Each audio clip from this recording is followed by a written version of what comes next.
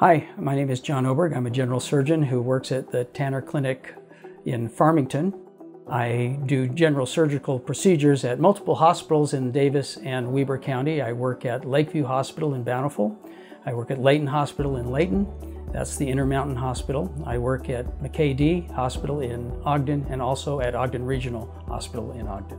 For patients who need general surgical services on an elective basis, I will see them in consultation in my office here in Farmington where we would determine whether a surgery is appropriate and uh, schedule it at the hospital that would make sense for them.